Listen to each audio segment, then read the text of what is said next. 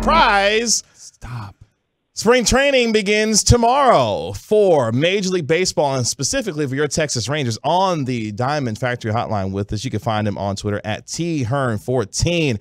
Texas Rangers pitcher Taylor Hearn, friend of 105.3 the fan, joining us here on 105.3 the fan. What's going on? Oh man, not much, not much. Just getting ready to get revved up for tomorrow. Hey man, what what's uh surprise been treating you like? First of all, when did you get out there? You know, what, what's it like out there this year? Man, so I got out here Sunday.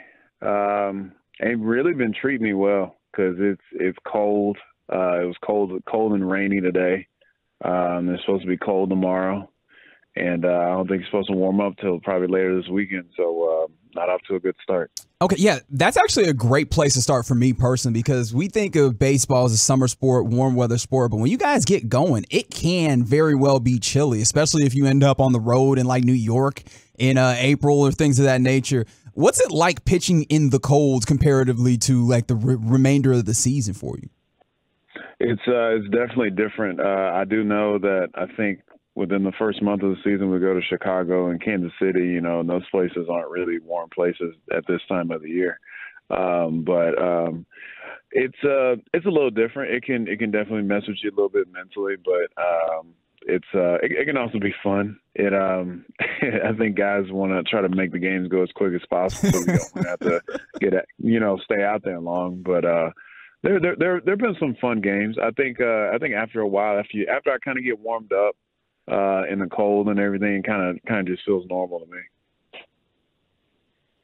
And as far as this season is concerned, I want to ask you because obviously you were having different roles, whether it be in the starting in the starting rotation as a reliever. How much more comfortable do you feel about your role going into this upcoming season? Uh, honestly, I never even thought about it. Uh, I kind of just go with the flow and kind of can do whatever you need me to do. I never really looked too much into it. Um, and plus, I mean, the situation we're in, we're obviously trying to win. So I was, I was just like, look, you guys just let me know whatever you need me to do. All right. So when it comes to spring training, obviously you out there to work, but at the same time, there's got to be some level of downtime. What What do you end up doing out in surprise in order to make the days go? Well, um, to be honest with you, um, fortunate enough, we have early days, and if there's happen to be days that I'm not playing in the game, uh, even like downtime today, uh, this is my chance to really catch back up on FIFA um, and uh, mainly video games as well. So this will this will probably be the few few couple of weeks I get a chance to really play video games hard. Um, other than that, probably go to the mall every now and then. But um, knowing how I am, I kind of get a little too tired from working out and stuff, and I'm like, I don't, I'm kind of a homebody and don't feel like leaving. All right, so quick FIFA speed round. Favorite team to play with? Manchester United. Oh, okay. That's what I'm talking yeah, we got about. we're kindred Uh-huh, spirits. Favorite uh-huh. player to use? Favorite player to use would have to be Marcus Rashford, or if or if I feel like really beating the brakes off of somebody, I'll use France online because people like to use PSG. So um, I like to use Mbappe as well. I like that. I like that. Um, who who do you play with? Like, is there anybody in the clubhouse that's nice as well? In FIFA? Yeah. No, no nobody, no, uh, nobody can hang me. I, I haven't met anybody yet that could beat me. Oh, okay. I like that. Talk that talk, Taylor.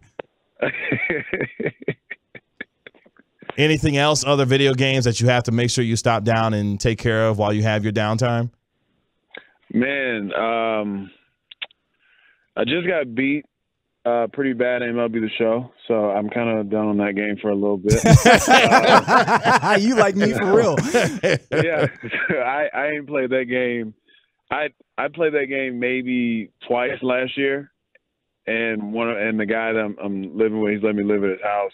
Um, he beat me like twelve to three last night, so I was like, yeah. So it was kind of payback because I beat him in Madden and FIFA. So haven't found nobody yet to beat me in those two games. So Okay, so are, are you ever looking forward to the middle of the week, like KG suggested to start the show?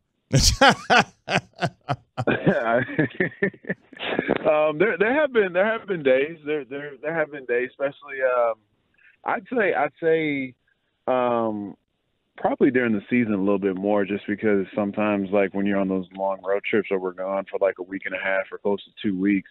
Um, let's just say there's an off day on Wednesday or you know Thursday or whatever. I'm I mean I'm dying for it, you know.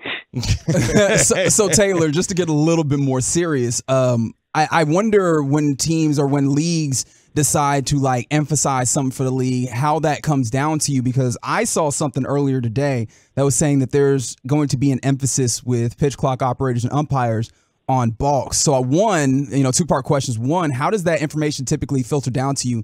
And two, what's your level of concern or how intriguing is that to you? The idea that you know they're going to be looking for balks this year. Yeah, um, for I mean, knock on wood. Fortunate enough for me, I haven't been called for a lot of balks, um, but um, I kind of I kind of really am a fast person. Um, really not too too fast, but then also with the pitch clock, um, I think I, I, think it'll be good. I think it'll be good. I think it'll take a lot of guys um, a little time to get adjusted, but I think with the PitchCom and then the pitch clock, it won't it won't be that bad though. But I mean, you do have those guys that uh, from the uh, from a pitching aspect and hitting, there are guys that like to take their time and and sometimes I'm not gonna lie, sometimes that that kind of stuff is frustrating, you know, because like they do it to try to mess up your time and try to throw you off, and now it's kind of like nah, like you know, like you need to get in the box a little bit quicker. Can't take your time, you know, especially like umpire calls a bad call or whatever it is, you know, you know, you know, those there's always those guys that if umpire calls a ball that's you know calls a strike that's two balls off, you know, a lot of them like to take their time and walk around. It's like you're not gonna be able to do that anymore. Is there a mental adjustment that comes with some of that, knowing that you're going to have to be making some of those different kinds of adjustments with some of the rule changes? What goes into some of that for you? Um, keep the same pace. Don't let the uh, don't let the clock uh, speed me up. You know, uh, fortunate enough for us, we're definitely going to be working on it during spring training, and um, you know, I've, I've always been the type of person to go off a rhythm. I feel like if if I'm if if I'm taking too long on the mound, it kind of throws me out of whack. You know, being a, a, a tall guy, um, you know, I kind of need that rhythm. So um, I think uh, I think for shorter guys, it may it may benefit them a little bit more. So, but, ta- uh, I'm sorry. yeah, yeah, no, no, no, yeah. I didn't mean to step on you there, Taylor, but when, when we had you in uh, the performance showroom a few weeks back for Rangers Hot Stuff, we were asking some sort of, you know, the ways that you've adapted to you know the new coaching staff. And you, you mentioned how they've been they've been giving you some things to maybe make you better but I, am really interested if you can give us some specifics. What are the things that you're working on um, leading up to this season to improve your game?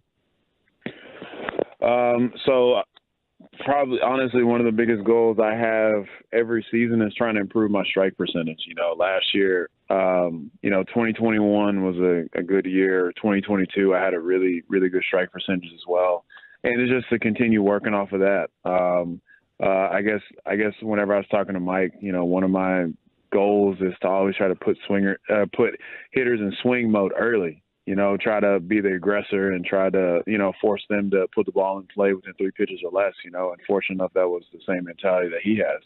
And so, um, you know, we got a chance to watch a bunch of video and been talking a lot this off season. I'm excited to work with him, but uh, you know, he Mike Mike is definitely the old school, and I love it. You know, he's definitely a big guy, like living down in the zone. So I'm definitely interested and go back. Um, I'm excited to go back to that as well, but then just mixing it up, going high in the zone and low as well.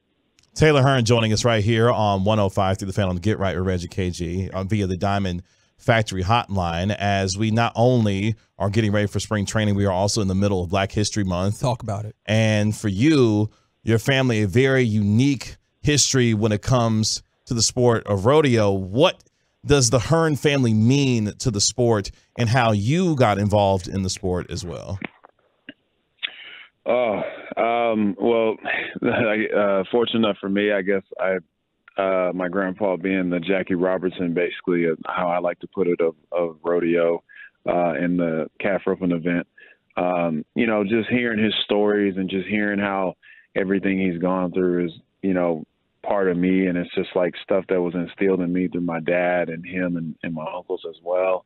And it really when you when you think about bringing it over to baseball you know it's kind of it's the same way realistically you know it's not that many african american that play baseball so you know there's a lot of the same feelings and everything as well that it is in the rodeo and uh, also in baseball as well um, but man i'm not it's just it's, it's a huge month you know because i've been seeing people uh, posts about him and other trailblazers in rodeo as well, and I think that's huge. And uh, it's pretty cool to be able to say that's my grandpa. You know, that's somebody that went through a lot just to get to this point, and this is a perfect month to be able to honor him and just him and, and all all the other guys. Even doesn't have to be rodeo people. Um, that have gone through but just persevered to, to make things where they are now for for us now as uh, as African American people. So one of the things about like these greats in the game, especially ones that were, you know, milestones for progress, is we can talk about that, but I love being able to focus on the fact that yo, they were really cold as well. Except I think you'll understand for me, and I imagine for a lot of folks, I don't necessarily know how to like quantify that for rodeo. Can you give us a little bit of example as somebody who has been in rodeo? How do you like what, what typifies excellence? What what is the thing that you could point to in certain situations, whether it's you know calf roping or whatever, that you go, oh man, that dude is nice when he's doing this. um, man, it's. I would obviously say, um, you know, the belt buckles is a big one. Okay. As well, but but I mean, belt buckles do speak for themselves because you know it is an individual thing. So rodeos, you know, definitely an individual sport, but there's a lot of factors that go into it. You know, with guys with the animals that they draw, or, or you know, even in the event that that I I did in tie down roping, you know, it's all based off the horse and you and in the uh, and whatever calf you draw. So like, there's a lot of factors that go into it. So it's kind of tough. Like, um, I guess I guess to put it in perspective, it's called, it's almost like I wouldn't say luck, but you know, it's it's definitely off of the belt buckles. I, I mean, it's tough to say uh, what else, but like there's a lot of guys that are talented that uh, I've met that never won anything, but have have you know just have that talent, have that it factor, like what they like to say in baseball, you know. But it's it's it's very similar where you kind of got to you know put in a little extra work to be able to get to it. But I mean, belt buckles speak for themselves, though. Okay, so the question is belt buckle, like would you rather have that or like what's the other thing like baseball apparel wise that would compare to like a good a good belt buckle in that way? Uh like is it a you know nice fresh cap? Like what what what is it? Like you talking about like just award wise, or what are you talking? No, just like so, a sta- like, I think a statement piece. Yeah, a statement like, piece. If you yeah. if if Taylor Hearn, let's simplify this. If Taylor Hearn could have like the equivalent of a belt buckle in baseball, what would your statement piece be? Oh, oh yeah. Um, man, first first one that comes to mind probably be a Cy Young. Okay. okay. All okay. right. well, let's let, we're going ahead and set our sights high. Uh huh. Uh huh. And I guess we on our hand will have to start the uh, Taylor Hearn for Cy Young campaign. Is that is that how this works? hey, uh, I'm a, I'm gonna let you guys handle that. I'm just, I'm just a baseball player. We're, we're, we're the president. That's how I looked at it. Of the other Cy Young for for Taylor Hearn uh, Award fan club there. Um, before we let you go, obviously this is one of the most anticipated seasons for the Rangers in quite some time. Is there what's the feeling that you're gathering from not just yourself going into this year, but for this team and the excitement around this ball club about what the potential of this team is going into this year? It's it's definitely definitely a lot of excitement uh, from a player's perspective. You know, when you when you walk in the locker room these last two days and you you know you're seeing the Nathan Eovaldi and uh, Andrew Heaney, um, you know, and deGrom as well. But you know, and then there's also like Sandy Leon and um, there's a bunch of veteran guys in here, and there's a lot of excitement about it. But um, it, it's it just raises your I wouldn't say expectations, but raises your your almost competitiveness because you're like, man, like we really went out and, and you know spent money this year and got a bunch of guys, and uh, you know just like we did last year, and just trying to make that that necessary step. You know, so it's definitely definitely a different vibe this year. You know, it's it's it's you can tell during throwing program and just talking to guys how how serious everybody is and everybody's like hey man like we're you know this there's no more like rebuilding like it's like hey we're, we're actually trying to go after this year you know all right so taylor pardon me i'm going back a little bit here but you were mentioning how your grandfather obviously was like one of the you know monumental figures in rodeo and obviously we always when we talk about greats we want to talk about their personalities and you have gotten a pretty fortunate look at one of those in rodeo What's the coolest thing that you can recall about your granddaddy?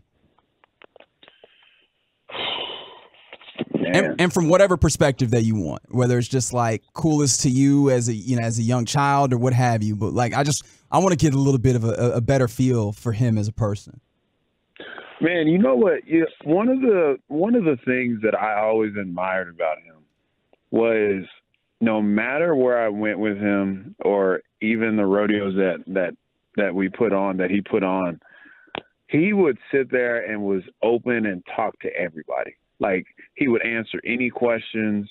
He was he was just a very personal person. That was one thing I've always always admired about him was like he was he had so much knowledge, but like I've seen him talk to just the regular fans at rodeo that didn't know anything about rodeo, and I've seen him like bring them back back back behind the chutes where you know where the guys go up for pay their entry fees and all that stuff. Like he's bringing normal people back there and just kind of educating them on it. And I was always just so fascinated by that, and I thought that was so cool. You know how he was just such, such a personal person. You know, and it's like you don't you don't really get that. You know when when you you know I'm pretty sure you guys have met athletes or, or guys that not in in the sports world that are that aren't like that. You know, very stuck up or just don't really have much to say. And he was he was the total opposite.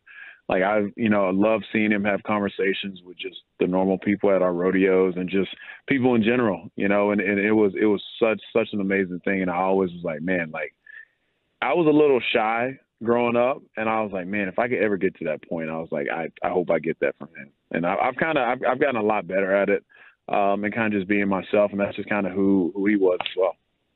All right, we can't let you go without letting you give us a little commentary on your Mavs. Luka, Kyrie, what you think about the fit mm. so far? um, I think I, I truly think it's going it's going to work out. I think uh, the the one thing I do wish is that Mavs fans would be, just be a little bit more patient. Uh, you know, I love their I know they were kind of scrutinizing J Kidd last night's game, and uh, I kind of looked at it from like a positive, where it was like, hey, they were passing the ball back and forth, and yeah, they, nobody got the shot up, but it's like I think that just shows how much respect they have for each other, you know. And now I think eventually they they both can take that shot, and I'm excited to see what they're going to do in the future, and uh, you know, go in the playoffs, and then hey, hopefully keep Kyrie here long term. See that, Mavs fans? Future Cy Young winner Taylor Hearn is telling y'all to calm down and keep Kyrie Irving long term. Dude, they will never listen. They will never listen, man. I see it all the time. They're like blowing up. I'm like, bro. I'm like, I I wish. I really do wish as an athlete. I wish like all those fans that just blow up on athletes. I wish they could just I, I, I want to see them do that in that type of aspect. Like I want to see the normal guy that's on Twitter going off on them. It was, you know, I want you to feel that pressure in the late game like last mm. night. You let me know if you're making that shot. Man, that's a whole different thing that I would love to talk to you about. Yep. At some At point, point yes. oh my goodness, we'll, we'll, have to, we'll, we'll call you to. back later in spring training. How's that sound? hey, hey, I'm all for it, man. I um, hey, listen, if you guys want to set it up, I'm all for that. Where I would love to get some random fans that think they can hit fastballs and stuff like that, and we set it up. Oh, you count me in for that. okay, okay, we might have to do something like that during the course of the season. You can find him on Twitter at THearn14. Terrific guy, friend of 105.3 the fan. Taylor Hearn enough to join us here on 105.3 the fan. Taylor, appreciate the time, man. Stay Always healthy, good, and uh, we'll talk to you real soon, man. Yeah, man. Appreciate seeing you guys. Hope, look, look forward to seeing you guys soon.